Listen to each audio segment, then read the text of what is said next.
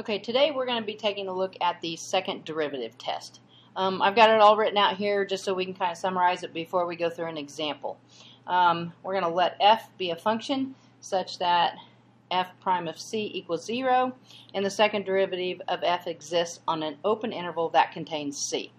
Alright, when we do this, if we test our value of c in our second derivative and it turns out to be positive, then f has a relative minimum at x equals c. All right, I always think of that as it's just the opposite. If it turns out to be greater than zero, then it's a minimum. To me, that seems opposite.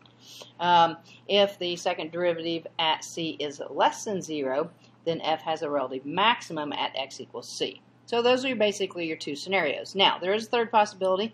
If the second derivative at c is exactly equal to zero, then your second derivative test fails. All that means is that f could have a relative maximum or a relative minimum or neither, and you have to do some other investigation to find out what really is going on there. Um, when this happens, um, you can go back and use first derivative test. All right, that usually seems to be about the simplest thing to do since you've already calculated your first derivative on this. Okay, so let's take a look at an example here. Let's suppose um, you were needing to find the relative extrema using the second derivative test. All right, you're going to have some function. I've used um, f of x equals negative 3x to the fifth plus 5x to the third. All right, now, first off, I need to find my critical numbers because this is where my relative extrema is going to live. So, um, step one, I'm going to find my critical numbers. Okay, if you recall, finding critical numbers, you take the first derivative, set it equal to 0, and solve. So that's what I'm going to do. f prime of x Looking up here, first derivative is going to be negative 15x to the fourth plus 15x squared. Alright, now I need to set that equal to 0 and solve to find those critical numbers. So negative 15x to the fourth plus 15x squared equals 0. Um, let's factor out the greatest common factor of 15x squared. That's going to leave me with a negative x squared plus 1. Alright, set both of those equal to 0. Clearly we can see x equals 0 in this scenario. And when I set that equal to 0, I'm going to get a plus or minus 1. Alright, so those are my critical numbers.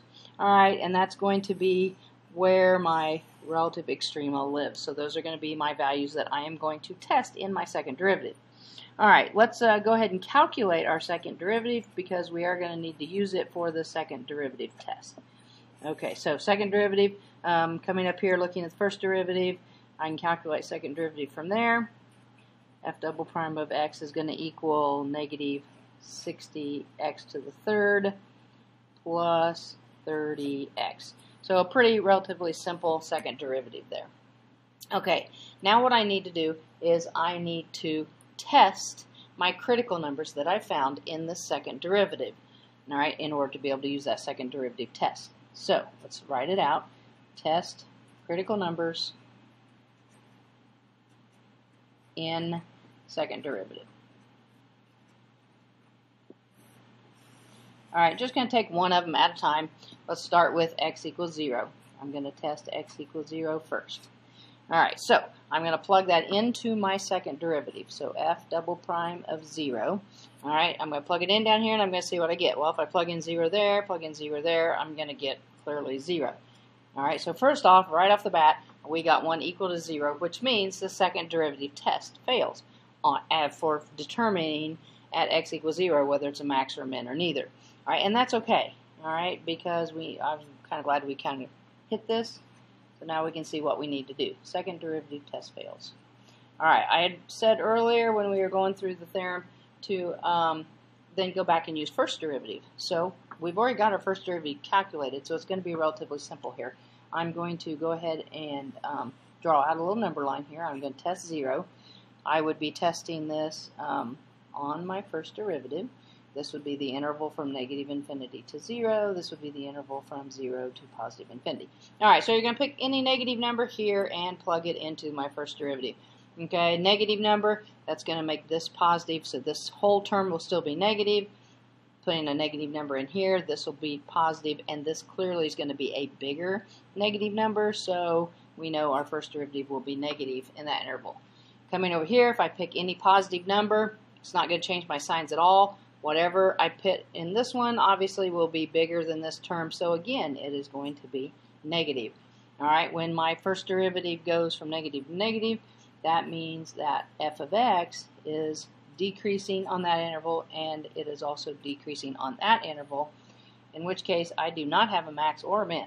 So neither max nor min. Okay, so that one was the longest one, taking care of that. Now let's test another um, critical number, x equals 1. I'm going to plug that into my second derivative. So plugging that into my second derivative. Now let's, uh, and here again I don't need exact values, right? I just need to know if it's less than 0 or greater than 0. If I put 1 in there, if I put 1 in there, clearly this is going to be a bigger negative number than this is over here. So overall it's going to be less than 0 or some negative number. That means it's always opposite. Think opposite. That's less than 0, so then that means that I'm going to have a max at x equals 1. Alright, plugging in the last value, x equals negative 1. We'll plug that into our second derivative.